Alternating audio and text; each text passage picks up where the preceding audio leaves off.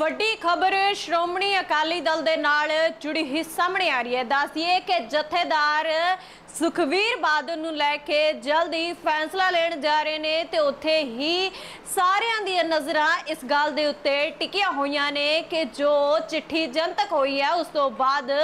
ਸ਼੍ਰੀ ਅਕਾਲ ਤਖਤ ਸਾਹਿਬ ਦੇ ਜਥੇਦਾਰ ਦਾ ਫੈਸਲਾ ਅਗਲਾ ਕੀ ਹੋਵੇਗਾ? ਕਿ ਸੁਖਬੀਰ ਬਾਦਲ ਦੀ ਪ੍ਰਧਾਨਗੀ ਜਾਵੇਗੀ ਜਾਂ ਕੋਈ ਨਵਾਂ ਪ੍ਰਧਾਨ ਐਲਾਨਿਆ ਜਾਵੇਗਾ। ਬਾਕੀ ਧੜੇ ਦੇ ਵੱਲੋਂ ਲਗਾਤਾਰ ਅਸਤੀਫੇ ਦੀ ਮੰਗ ਕੀਤੀ ਜਾ ਰਹੀ ਹੈ ਤੇ ਹੁਣ ਸ਼੍ਰੀ ਅਕਾਲ ਤਖਤ ਸਾਹਿਬ ਦੇ ਜਥੇਦਾਰ ਗਿਆਨੀ ਰਗਵੀਰ ਸਿੰਘ ਦੇ ਵੱਲੋਂ ਜਿਹੜੀ ਕਿ ਜਲਦ ਮੀਟਿੰਗ ਬੁਲਾਈ ਜਾਵੇਗੀ। ਪੰਜ ਸਿੰਘ ਸਹਿਬਾਨਾਂ ਦੇ ਨਾਲ ਇਕੱਤਰਤਾ ਕੀਤੀ ਜਾਵੇਗੀ ਤੇ ਜਿਸ ਤੋਂ ਬਾਅਦ ਦੱਸਦੀਏ ਕਿ 30 ਅਗਸਤ ਨੂੰ ਵੱਡੀ ਮੀਟਿੰਗ ਹੋਣ ਜਾ ਰਹੀ ਹੈ ਤੇ ਜਿਸ ਤੋਂ ਬਾਅਦ ਸੁਖਬੀਰ ਬਾਦਲ ਨੂੰ ਲੈ ਕੇ ਕੋਈ ਵੱਡਾ ਫੈਸਲਾ ਨਿਕਲ ਕੇ ਬਾਹਰ ਆ ਸਕਦਾ ਹੈ। ਉੱਥੇ ਹੀ ਪੰਜ ਸਿੰਘ ਸਹਿਬਾਨਾਂ ਦੀ ਨੇ ਦੱਸ ਦਈਏ ਕਿ 30 ਅਗਸਤ ਨੂੰ ਇਕੱਤਰਤਾ ਸੱਦ ਲਈ ਹੈ ਤੇ ਉਮੀਦ ਹੈ ਕਿ 30 ਅਗਸਤ ਨੂੰ ਹੋਣ ਵਾਲੀ ਸਿੰਘ ਸਹਿਬਾਨਾਂ ਦੀ ਮੀਟਿੰਗ ਦੇ ਵਿੱਚ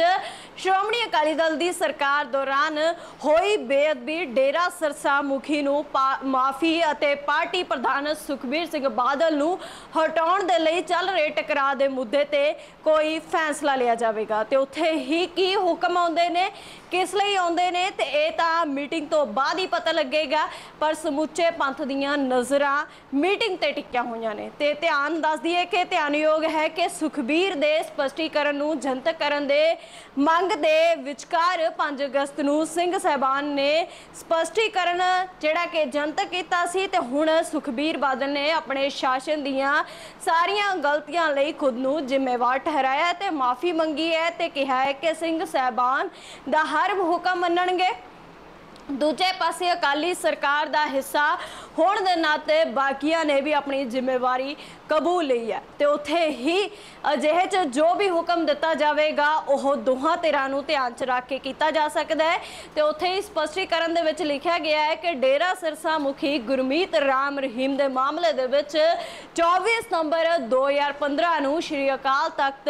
ਵਿਖੇ ਹੋਈ ਸਿੰਘ ਸਹਿਬਾਨਾਂ ਦੀ ਮੀਟਿੰਗ ਦੇ ਵਿੱਚ ਗੁਰਮਤਾ ਪਾਸ ਕੀਤਾ ਗਿਆ ਸੀ ਤੇ ਇਸ ਤੋਂ ਬਾਅਦ ਸ਼੍ਰੋਮਣੀ ਗੁਰਦੁਆਰਾ ਪ੍ਰਬੰਧਕ ਕਮੇਟੀ ਦੇ ਤਤਕਾਲੀ ਪ੍ਰਧਾਨ ਅਵਤਾਰ ਸਿੰਘ ਦੇ ਹੁਕਮਾਂ ਮੁੱਖ ਸਕੱਤਰ ਹਰਚਰਨ ਸਿੰਘ ਦੇ ਵੱਲੋਂ ਇਤਿਹਾਸ ਜਾਰੀ ਕਾਰੀ ਕੀਤਾ ਗਿਆ ਸੀ ਤੇ ਇਸ ਦੇ ਨਾਲ ਹੀ ਸ਼੍ਰੋਮਣੀ ਅਕਾਲੀ ਦਲ ਦੇ ਪ੍ਰਧਾਨ ਸੁਖਵੀਰ ਸਿੰਘ ਬਾਦਲ ਨੇ ਆਪਣੇ ਸਪਸ਼ਟੀਕਰਨ ਦੇ ਵਿੱਚ ਕਿਹਾ ਹੈ ਕਿ ਅਕਾਲੀ ਦਲ ਦੇ ਕੁਝ ਆਗੂਆਂ ਦੇ ਵੱਲੋਂ ਸ਼੍ਰੀ ਅਕਾਲ ਤਖਤ ਸਾਹਿਬ ਦੇ ਜਥੇਦਾਰ ਨੂੰ ਮਾਫੀ ਪੱਤਰ ਸੌਂਪਿਆ ਗਿਆ ਸੀ ਤੇ ਇਹਨਾਂ ਦੇ ਵਿੱਚ ਉਹਨਾਂ ਦੇ ਵਿਰੁੱਧ ਜੋ ਵੀ ਲਿਖਿਆ ਗਿਆ ਹੈ ਉਹ ਆਪਣੇ ਝੋਲੀ ਪਾਉਂਦੇ ਨੇ ਤੇ ਜੋ ਵੀ ਸ਼੍ਰੀ ਅਕਾਲ ਤਖਤ ਸਾਹਿਬ ਜਿਹੜੇ ਕਿ ਦੇਣਗੇ, ਉਹ ਉਹਨਾਂ ਨੂੰ ਪ੍ਰਵਾਨ ਵੀ ਕਰਨਗੇ ਤੇ ਇਸ ਮਾਫੀਨਾਮੇ ਦੇ ਵਿੱਚ ਉਹਨਾਂ ਨੇ ਆਪਣੇ ਪਿਤਾ ਤੇ ਤਤਕਾਲੀ ਮੁੱਖ ਮੰਤਰੀ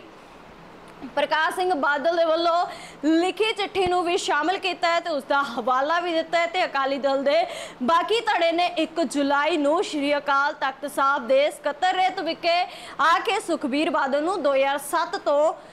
ਜਿਹੜਾ ਕਿ ਅਕਤੂਬਰ 2015 ਤੱਕ ਵਾਪਰੀਆਂ ਘਟਨਾ ਦੇ ਦੋਸ਼ੀ ਠਹਿਰਾਇਆ ਸੀ ਤੇ ਇਸ ਸੰਬੰਧੀ ਪੰਜਾਬ ਪੰਜ ਸਿੰਘ ਸਹਿਬਾਨਾਂ ਨੇ ਜਿਹੜਾ ਕਿ ਅਕਾਲੀ ਦਲ ਦੇ ਪ੍ਰਧਾਨ ਸੁਖਬੀਰ ਬਾਦਲ ਤੋਂ 15 ਦਿਨਾਂ ਅੰਦਰ ਸਪਸ਼ਟੀਕਰਨ ਮੰਗਿਆ ਸੀ। ਤੇ ਇਸ ਦੇ ਮੰਦੇ ਨਜ਼ਰ ਦੱਸ ਦਈਏ ਕਿ 24 ਜੁਲਾਈ 2024 ਨੂੰ ਸ਼੍ਰੋਮਣੀ ਅਕਾਲੀ ਦਲ ਦੇ ਆਗੂਆਂ ਤੇ ਅਕਾਲੀ ਦਲ ਦੇ ਪ੍ਰਧਾਨ ਸੁਖਬੀਰ ਸਿੰਘ ਬਾਦਲ ਨੇ ਸ਼੍ਰੀ ਅਕਾਲ ਤਖਤ ਸਾਹਿਬ ਅੱਗੇ ਸੀਲਬੰਦ ਲਿਫਾਫੇ ਵਿੱਚ ਸਪਸ਼ਟੀਕਰਨ ਦਿੱਤਾ ਸੀ ਤੇ ਹੁਣ 30 ਅਗਸਤ ਨੂੰ ਮੀਟਿੰਗ ਹੋ ਹੋਣ ਜਾ ਰਹੀ ਹੈ ਤੇ ਪੰਜ ਸਿੰਘ ਸਹਿਬਾਨਾਂ ਨੂੰ ਸੱਦਿਆ ਜਾਵੇਗਾ ਤੇ ਜਿਸ ਤੋਂ ਬਾਅਦ ਇੱਕ ਵੱਡਾ ਫੈਸਲਾ ਨਿਕਲ ਕੇ ਬਾਹਰ ਆ ਸਕਦਾ ਹੈ।